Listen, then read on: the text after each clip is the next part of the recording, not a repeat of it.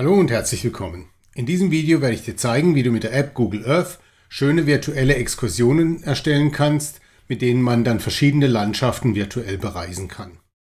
Wir öffnen zunächst die App Google Earth und um diese Exkursion dann nachher zu speichern und auch weiterzugeben, muss man sich mit seinem Google-Account anmelden. Wenn das zunächst hier so aussieht wie bei mir hier, tippen wir hier unten auf dieses Element und hier oben auf das kleine Symbol für den Account und klicken Add Another Account. Und dann kann es sein, dass du eben schon einen Google-Account auf deinem Gerät gespeichert hast oder du musst ihn in dem Moment frisch eingeben. So, nun bin ich mit meinem Google-Account angemeldet und sehe jetzt hier links unten meine Projekte. Es gibt die Möglichkeit, Projekte in Google Drive zu speichern. Mit jedem Google-Account hat man automatisch auch einen Google Drive-Zugang. Das ist also die Online-Cloud von Google, in der man Dateien speichern kann. Oder man kann hier auf KML speichern. Das ist also eine lokale Datei hier auf dem iPad. Ich würde vorschlagen, da wir die Datei nachher weitergeben wollen, speichern wir in Google Drive. Dann müssen wir uns später über, die, über den Online-Speicherort keine Gedanken mehr machen. Ich möchte jetzt also ein neues Projekt, eine neue Exkursion erstellen und klicke daher auf dieses Plus. Jetzt kann ich mich nochmal entscheiden, wo ich das machen will und ich sage jetzt eben hier bei Drive Projekt erstellen. Jetzt heißt das erstmal unbenannt. Ich klicke auf den Stift, um das Projekt zu benennen und nenne das mal Landschaften Deutschlands. Könnte hier noch eine Beschreibung hinzufügen, das lasse ich jetzt mal und klicke Speichern. So, in, diesem, in dieser Exkursion wollen wir zunächst mal ähm, in den Alpen starten und jetzt gebe ich hier mal hier die Zugspitze ein, weil das ein guter Ausgangspunkt wäre vielleicht für eine Exkursion in Deutschland. Und jetzt sehe ich hier also die Zugspitze. Ich kann hier verschiedene Ansichten wählen, kann mich auch drehen und wähle jetzt die Ansicht aus, die nachher in der Exkursion eben so erscheinen soll. So finde ich das jetzt mal nicht schlecht. Gehe hier zurück und sage Ortsmarkierung hinzufügen.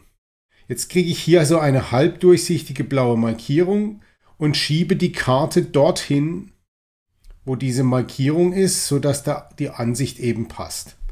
Wenn es so passt, sage ich in Projekt speichern und kann das Ganze jetzt hier wieder benennen. Sage OK.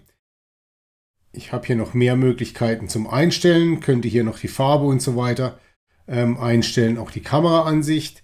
Wenn ich jetzt hier nochmal etwas verändern möchte und es gerne so hätte, kann ich hier sagen, diese Ansicht aufnehmen, dann bleibt genau diese Ansicht gespeichert.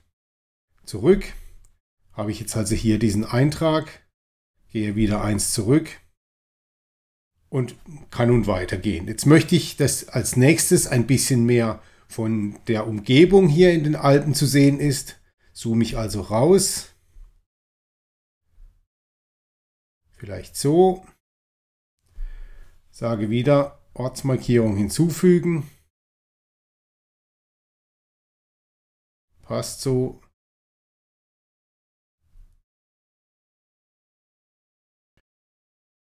Schaue wieder, ob das alles so passt.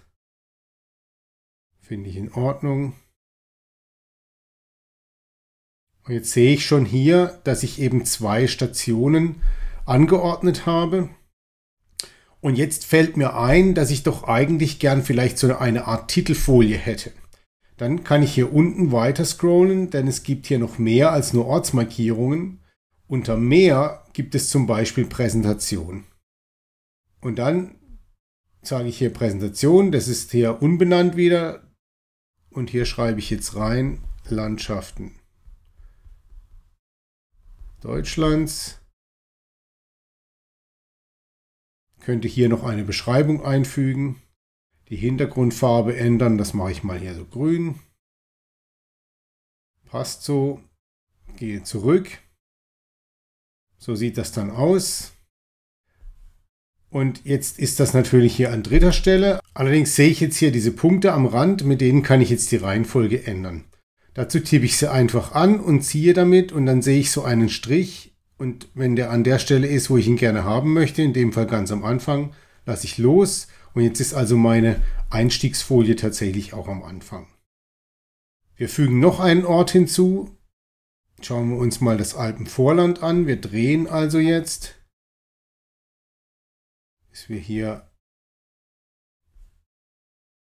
den Bodensee vor uns haben und gut die Alpen rechts und das Alpenvorland links sehen. Bisschen schräger, bisschen näher ran vielleicht.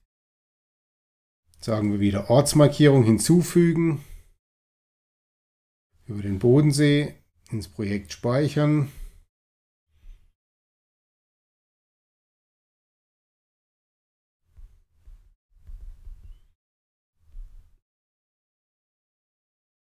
Und hier habe ich jetzt noch eine Möglichkeit, die hätte ich die ganze Zeit schon gehabt, habe ich bisher jetzt nicht genutzt, nämlich ich kann auch jeder Station eine Beschreibung hinzufügen. Wenn ich hier auf Beschreibung tippe, kriege ich ein Textfeld. Ich habe jetzt hier mal einen Text vorbereitet, den ich hier reinkopieren kann. Wir werden uns dann nachher anschauen, wie das aussieht. So könnte ich natürlich jetzt noch weitere Stationen hinzufügen, das soll jetzt aber erstmal genügen. Ich gucke jetzt hier nochmal durch, ob das alles so passt. Sieht erstmal gut aus und um zu testen, wie das nachher in der Präsentationsansicht ausschaut, kann ich hier auf die drei Punkte und sagen im Präsentationsmodus starten. Es beginnt jetzt also erstmal mit meiner Folie und jetzt hat sich das Bedienelement etwas verändert. Ich habe hier links unten ein Inhaltsverzeichnis und Pfeile zum Vor- und Zurückspringen und so nutzen dann das auch die Nutzer. Ich klicke also jetzt hier weiter und fliege zu meiner ersten Ansicht. Dann weiter zur nächsten.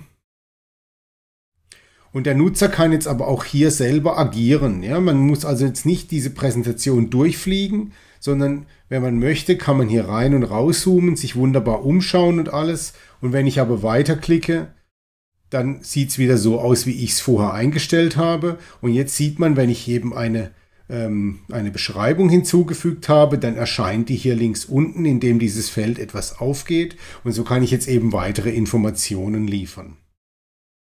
Auf diese Art kann ich nun also eine solche Präsentation erstellen. Wenn ich wieder raus möchte aus dem Präsentationsmodus, klicke ich hier oben links in meine Bearbeitungsansicht zurück. Jetzt bin ich hier da, wo ich zuletzt war, nämlich beim Bodensee, kann hier auch wieder raus. Jetzt bin ich in der Übersichtsansicht und wenn ich das jetzt weitergeben möchte, dass also jemand diese Datei nutzen kann, kann ich hier oben auf die drei Punkte und dann auf Teilen. Und jetzt gibt es verschiedene Möglichkeiten. Ich kann das entweder jemandem per Google-Account weitergeben oder ich kann hier unten auf dieses Mehr-Männchen-Icon und kann sagen, also das soll weitergegeben werden, nicht eingeschränkt, sondern Betrachter. Jeder im Internet, der den Link hat, kann die Datei aufrufen. Das ist erstmal so, wie ich es gerne haben möchte. Und dann kann ich hier oben auf den Link klicken. Jetzt ist der in die Zwischenablage kopiert. Und diesen Link kann ich jetzt also jemandem weitergeben. Und diese Person kann dann also diese Exkursion, so wie ich sie gerade erstellt habe, durchführen. Allerdings muss die Person dann einmal eben auch noch auf die drei Punkte klicken und im Präsentationsmodus Starten auswählen. Dann fliegt die Person nacheinander zu den Stationen, die ich jetzt gerade erstellt habe. Viel Freude beim Ausprobieren und bis zum nächsten Mal.